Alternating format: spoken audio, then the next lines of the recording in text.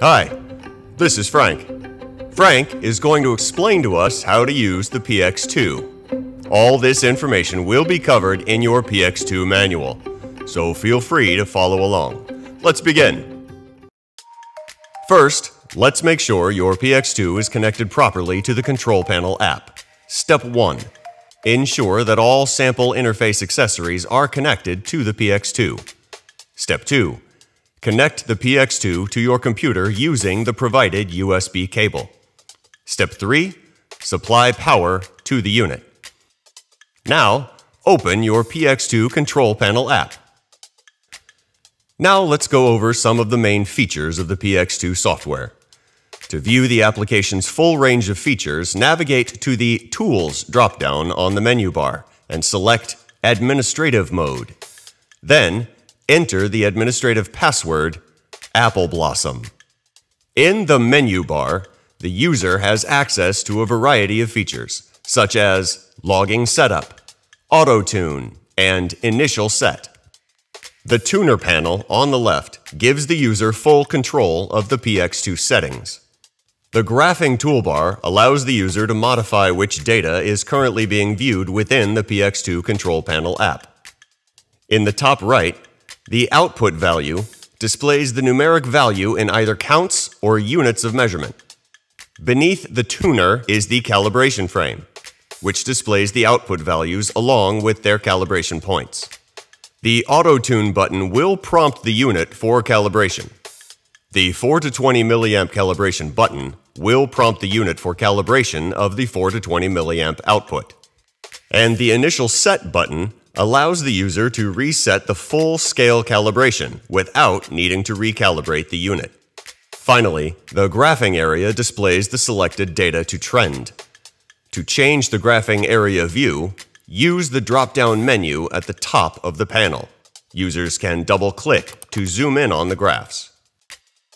In this section, we'll describe the function of the tuner sliders in the PX2 control panel app. While there are many signals you are able to monitor, the primary signals you'll be typically looking at are the measure light and the reference light signals. Also, keep in mind that the PX2 will automatically optimize the tuner settings for your specific application through the Auto Tune button. Adjusting the range will affect both the measure and reference outputs. Increase this value to decrease measure light and reference light output. Adjusting the integration time will affect both the measure and reference outputs. Increase this value to increase measure light and reference light output. Adjusting the reference gain will affect only the reference outputs. Increase this value to increase reference light output. In fluorescence measurements, adjusting the measure gain will affect only the measure outputs on fluorescent units. Increase this value to increase measure light output. The calibration points fields allow the user to manually adjust the PX2's calibration points. Adjusting the averaging field will change the number of measurements averaged together. Finally, adjusting the interval field will change the measurement interval, or the time between each individual measurement. In this section, we'll discuss the internal signals of the PX2. The output is the calibrated numeric value shown in units of measurement. The output signal is the raw signal from the sample at the wavelength of interest. This measurement is derived from the logarithmic ratio of measure and reference signals. The measure light signal is the signal from the measure detector when the light source is turned on. This is the primary signal used for monitoring the analyte of interest. The measure dark signal is the signal from the measure detector when the light source is turned off. This signal is used to remove the effects of ambient light and electronic noise on the measure detector. The reference light signal is the signal from the reference detector when the light source is turned on. This signal is used to remove the effects of light source drift over long periods of time. The reference dark signal is a signal from the reference detector when the light source is turned off. This signal is used to remove the effects of electronic noise on the reference detector. In this section, we'll describe how to log data using the PX2 Control Panel app. Logging data will allow you to create a .csv file and allow the user to add testing notes that are saved directly into the log file. Logging to file is disabled by default, so follow along to make sure you're logging data correctly.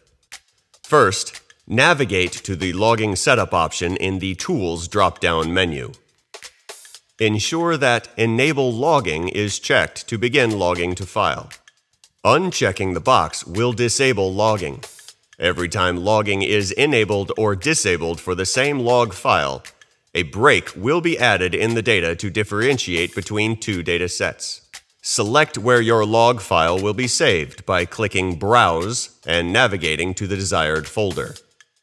Under Log Name, enter in a name for the log file. Next to Logging Interval, select how frequently data will be saved to the log file. This does not have to be the same as the measurement interval. Use the Data to Log dropdown to select which pieces of data to save for each individual measurement. In order to save all measurements, choose the Select All option in the drop-down menu. Finally, under Log Notes, enter in any testing notes prior to the start of logging. To change log notes, logging must be disabled and restarted once the notes have been updated. In this section, we'll describe how to set up the calibration using AutoTune. Step 1. Put on the appropriate PPE for handling samples. Step 2. Connect your sample interface accessories. For fluorescence, simply connect your fluorescence probe. For absorbance, you'll instead connect your cuvette holder, flow cell, or probe. Step 3. Gather 1 to 5 representative samples. The following procedure describes the absorbance calibration of the PX2. Step 1. Select Tools, Auto-Tune to begin. Step 2. Specify the number of calibration points. Step 3. Fill the sample interface accessory with the non-absorbing background sample. Step 4. Fill in the concentration in the first text box, and then select Number 1 Test Sample. Step 5. When prompted, remove the sample. Clean out the sample interface accessory and replace with the next sample in ascending order. Repeat steps 4 through 5 for each of the remaining samples. We'll now describe the fluorescence calibration of the PX2. Step 1. Select Tools, Auto-Tune to begin. Step 2. Specify the number of calibration points. The auto-tune setup feature will reset the span or max point. Step 3.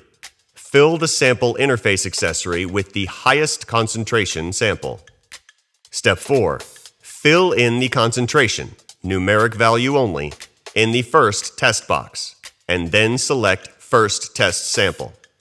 Step 5. When prompted, remove the sample. Clean out the sample interface accessory and replace the next sample in descending order. Repeat steps 4 through 5 for each of the remaining samples.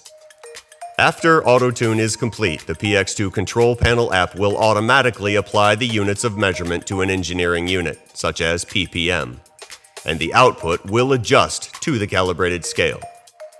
If you're experiencing inaccuracies or issues in your measurement, it may be time to recalibrate the PX2. Users can recalibrate or use the auto setup function to re-reference the unit without altering any of their calibration points.